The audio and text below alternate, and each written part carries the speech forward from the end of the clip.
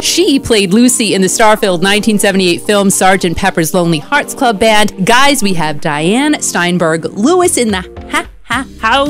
Is this the fabulous Kiki.fm Kiki Thirsty Thirsty chick? We love us some Diane. Kiki, are you sitting there with a cocktail? I heard Al saying he was. I am. I have my Prosecco. The one thing that she taught all of us, me, my sisters, and the cities, that she was broadcast is give credit where credit is due. We were in the wagon getting our hair and makeup done, and we get this big boom music. It was so loud. We go, who the hell is that? And then we look out, and I think the kids were in there with us that day. We looked out, and honey, you're talking about rock and roll to the bone, to the soul, to the dress, to the hair. I mean, when that bus came around the corner, it was frightening.